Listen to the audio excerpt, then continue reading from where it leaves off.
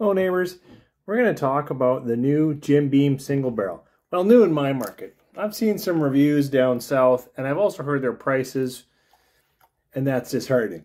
But let's see if this new Jim Beam single barrel is as good or better than the previous Jim Beam single barrel. I'll record some thoughts. I got to edit them yet, but I'll see you over on YouTube.